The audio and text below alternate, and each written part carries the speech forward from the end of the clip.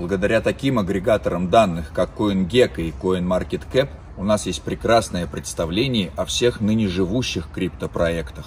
Но у нас почти нету информации о криптопроектах, которые умерли. У нас просто нету кладбища блокчейнов.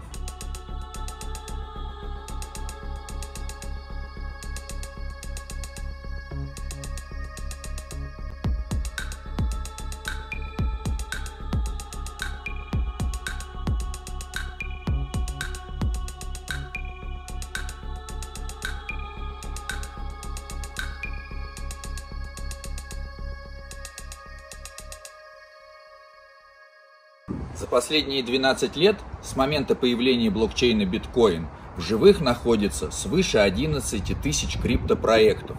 Точное количество погибших криптопроектов нам неизвестно, но нам известно, что все криптопроекты, которые погибли, были либо скам-проектами, либо проектами-шутками. Ни одного реального криптопроекта не погибло. Хотелось бы узнать, какова средняя продолжительность жизни криптопроекта, ведь никто не хочет инвестировать в проект, который в ближайшее время может умереть. И несмотря на то, что у нас нет никаких точных данных, есть все основания полагать, что средняя продолжительность жизни криптопроекта намного больше, чем средняя продолжительность жизни людей. Начнем с того, что новые технологии быстро приходят и медленно уходят, несмотря на то, что еще живы люди, которые застали мир без телевидения, а интернет является прямым убийцей телевидения, судя по всему, телевидение переживет всех тех, кто застал мир без телевидения. Мир без интернета застало куда большее количество людей, чем мир без телевидения. И несмотря на это, нет никаких сомнений, что интернет переживет всех тех, кто застал мир без интернета. Блокчейн – это не что иное, как новый виток развития интернета. И как мы уже с трудом помним мир без Google, также мы вскоре будем с трудом помнить мир без блокчейна. Но можно ли отличить блокчейн-проект, чью базу данных будут хранить веками, от блокчейн-проекта, чью базу данных хранить не хочется? Криптопроектами на века становятся благодаря разработчикам и сообществам, которые собираются вокруг этих проектов. Именно разработчики создают новые инструменты и сервисы на блокчейнах, чем повышают юзабельность криптопроектов. Они привлекают этим новых пользователей. И именно из этих новых пользователей образуется сообщество. А именно из этого сообщества в проект приходят новые разработчики.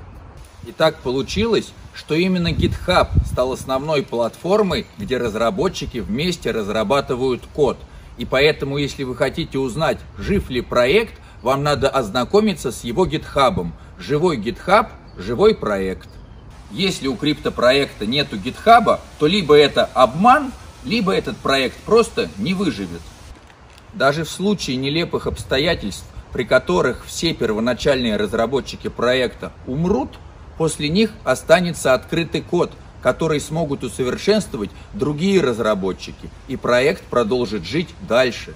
А если у проекта прекрасный маркетинг, великолепный дизайн сайта, суперские видео, но при этом нет гитхаба, этот проект спекуляция. Такой проект создают не с целью, чтобы проект жил дальше, а с целью быстро его продать, быстро на вас заработать и испариться. Память о людях, которые принесли пользу обществу, хранится веками. То же самое можно сказать и о криптопроектах. Если у проекта есть функционал, если он приносит практическую пользу, база данных такого проекта будет храниться веками. А если проект не приносит практической пользы, то и нет смысла хранить его базу данных. Количество блокчейнов экспоненциально растет, и каждый последующий год будет появляться вдвое больше новых блокчейнов по сравнению с предыдущим годом. Мы уже с вами наблюдали массовое вымирание скам-проектов в 2018 году, а впереди нас ждет вымирание реальных проектов из-за того, что они не смогли подстроиться под современные требования, либо из-за того, что новые блокчейны стали намного эффективнее выполнять их функции. Наверняка мы что-то упустили, и не отдали должной памяти хорошим погибшим проектам. Если вы знаете такие криптопроекты, то оставьте их название в комментариях. А если вам понравилось видео, ставьте лайк, подписывайтесь на канал Фарклок, чтобы быть в курсе, какие проекты останутся в живых, какие проекты вымрут. А я умываю руки и ходу из этого материального мира мертвых в цифровой мир живых.